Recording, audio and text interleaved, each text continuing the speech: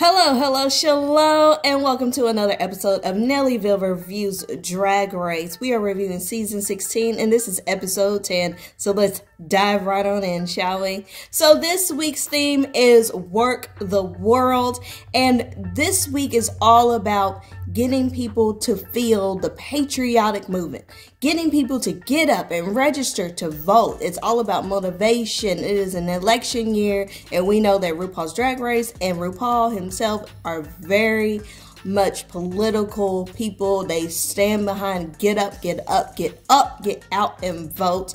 And what better way to use their platform than for, you know, to get the kids to get up and do something productive, okay? So, the darlings all had to come together and create a song. So they had to write their own verses and their lyrics. And I have to say, the the, the song itself, which was written by um, Leland and Freddie Scott, who were the guests, you know, people for today. Um, also, Jamal Sims was here as a guest judge and helped the girls with the choreography. So it is an original song. The song that they did was called Power. And I liked the song itself. It was um, kind of like a funk groove, you know, type of it was it had a really like throwback feel it was a funk song right and you know judging off the cast you know let's be honest it's very um the cast is that's left is very um vanilla you know there's not a whole lot of uh chocolate or latte so when they said that the song was going to be of the funk genre, I was already concerned. Because, you know, for the funk, you know, you gotta have a little groove. You know, you gotta think Earth, Wind, and Fire. You know what I'm saying? 70s, you gotta think a groove. You gotta help. Oh, a heavy, a heavy, you know what I'm saying? And I just didn't really see that for the girls that are left, like, you know, most of them, you know what I mean? So I already kind of knew, yikes. But, you know, positive vibes, right? The theme for the runway was true colors. So the girls had to pick their favorite color and create a look based off of their favorite color. So what we're going to do is we're going to take a look at the runway looks and then as we go over the looks, I'm going to talk about how I feel about the girls' performance in the song. Now, overall the performance of what they did. So all the girls performed together in this song, right? So they all had a verse and it was you get the gigs, right? They did a live performance and I like the theatrics. I like the lighting. I like the stage. They completely transformed um, the main stage. You really feel like it, it gave very much concert vibes, right? Um, I, I like the choreography. It was a, it was a overall it was a great number, and I think that Leland and Freddie Scott did a great job with the girls. We've seen Leland and Freddie before. Um, they created some hits. They, they've been they've been great. There's a reason why drag race keeps asking for these producers to come back and work with the girls. So, with all that being said, let's get into the first look. So first up we have Dawn. You know, this look, it's it's very Dawn. This is not my style of drag, but if I like this style of drag, I will be very here for it. It's very well constructed. It looks great. I get it. It's, you know, blue, I guess is the color. Um her performance in the show of the song. You know, her verse was fine. I'm gonna be honest with you. No one's verse was really like there was there weren't any verses this season that I was like, okay, like, you know, all of them at best, some of them were like really high safe, but nobody really gave I think this that this genre for this group of girls, I think it just wasn't right. Um you know, but you don't know who's going to go home. You don't know, like, you know what I'm saying? It's not the fault of the song. It's just, I think everybody can't do every genre. You know what I mean? Dawn was okay. I feel like she was a little stiff. I feel like she could have gave a little more, but I understand it was probably way out of her comfort zone. Um, but you know, the, some of the energy was there, and this look is perfectly fine. Next up, we have a Mhi'ya Iman Le'Paige. You know, I feel like I've seen her in this before. I'm not crazy about the wig. I mean, I love the color red. Um, the judges really love this, but I maybe with a different wig, maybe I would have liked it more. But I mean, it's a pageant gown. it's a very like Bob the drag queen said, it's a very well constructed pageant gown. But it, at the end of the day, it's a very safe, very pretty pageant gown. Um, her performance in the song, I feel like she could have wrote better lyrics.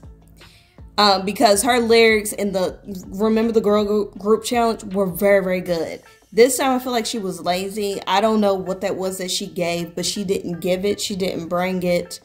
Um, it was just okay. Because I know she could have done more. Because we've seen her do more. Next, we have Morphine Love Dion. I like this, but baby, I wish you would have cinched the waist more. Um, I like it, but it's just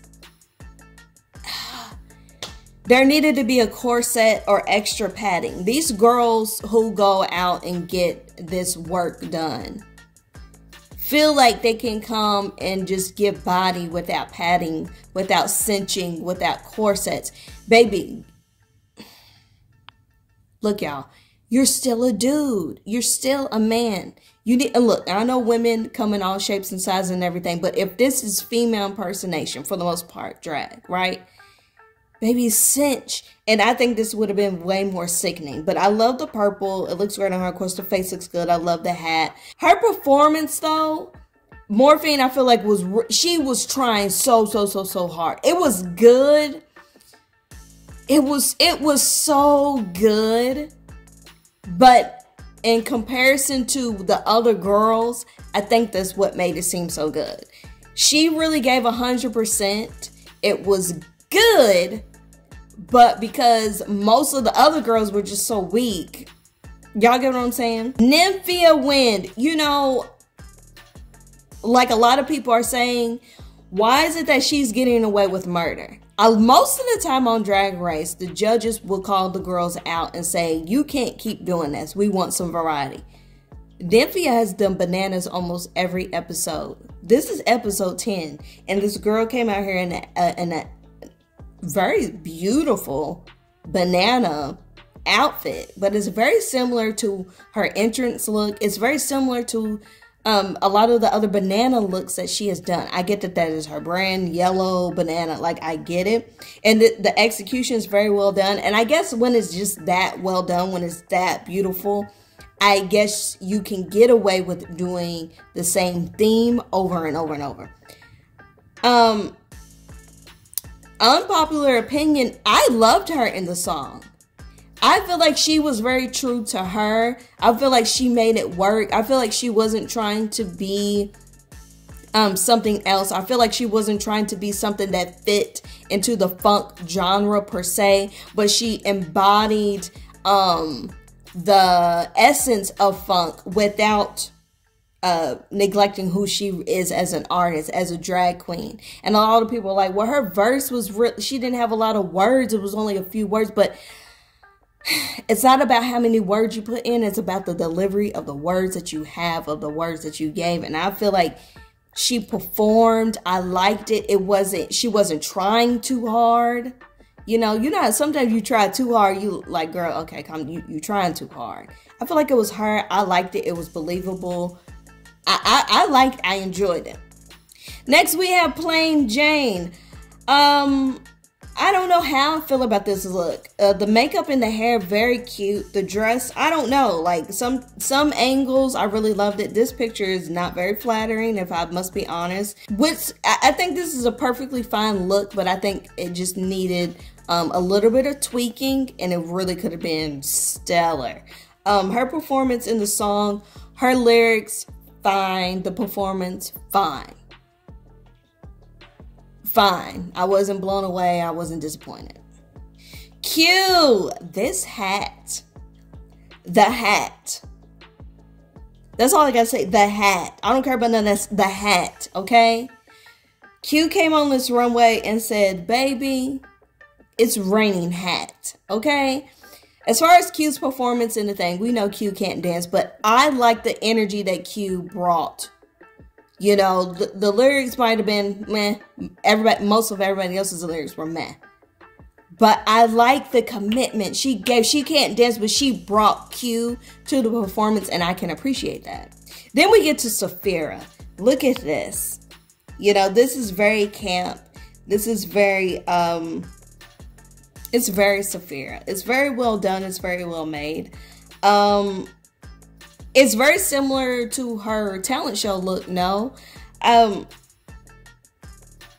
it, it's it's it's a it's a great look. I don't know if I was as crazy about it as the judges were, but I do love it. It's very it's very pretty. And then her performance in the show, of course, she did the best. Like, what did you expect from someone who did James Brown in the Snatch game?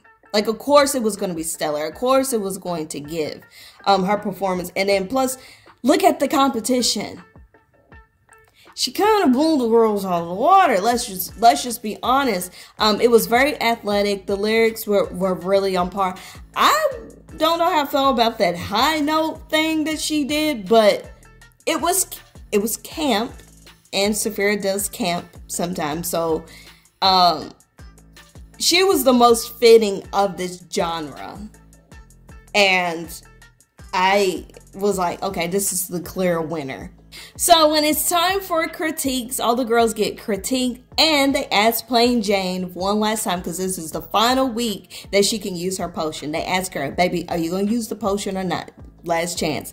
And Plane Jane, shockingly, was like, yes, I'm going to use it, but I'm going to give it to Nymphia. I, I was kind of shocked. Like, as the episode went on, I was kind of like, okay, maybe she might actually give it away. But uh, but for weeks, I was like, she's either not going to use it at all or she's not going to give it to anybody. But she gave it to Nymphia, and, Nymph- and Nymphia begged and begged and begged, and I guess all that begging paid off. But you know, it was kind of a waste because nobody went home. So what they did was they started started calling the girls. They started calling the girls, and you get down to Sapphira and Morphine, and you like, okay, clearly nobody's going home because we know for sure these were the top two. So nobody went home this episode. So it was the the potion was kind of a throwaway, I guess. I mean, maybe someone would have went home if Plane Jane didn't use the potion, but like, you know, nobody went home. And what we ended up having was was a lip sync for the win. So the top two lip sync, RuPaul flipped it up and did like an All Stars thing. Because you know, in All Stars, they lip sync for the win instead of lip syncing to stay and not go home. So, Morphine and Sapphira lip sync to Meghan Trainor's I Made You Look Bum Bum Bum Bum. Ah, I love Meghan Trainor. Let me tell you something. Off topic, I love Meghan Trainor. There is not a song that Meghan Trainor has put out that I don't like. I like her, and she's just such a down to earth, like, like she's such a like, whatever. Like she's just so cool. Like I like I love her. Like I really do. And sometimes I forget how much I love her. But like anytime her songs come on, I never skip. And then there's times like I'm like, I need to listen to Meghan Trainor. She's just positive. She gives me what I need. Like I just I, I, I just love Meghan Trainor. Anyway, so that was the lip sync song. And both girls did really good. They really, really did. Um, but I think, but Sapphira but Sapphira ended up winning the lip sync, and so she won for the week. So, yay, congratulations, Sapphira. Nobody went home.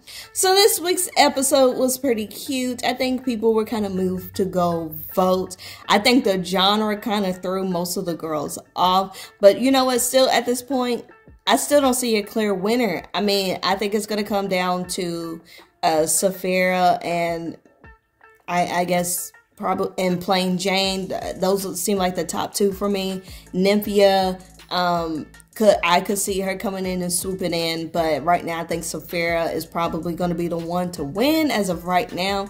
This season feels different from you know past seasons, so as far as usually by now, at least you could be able to tell who's a clear winner, but who knows? So that's it for this week's episode of Drag Race and Nellyvylle Reviews Drag Race 16, episode 10. I'll see you in the next episode again. Bye!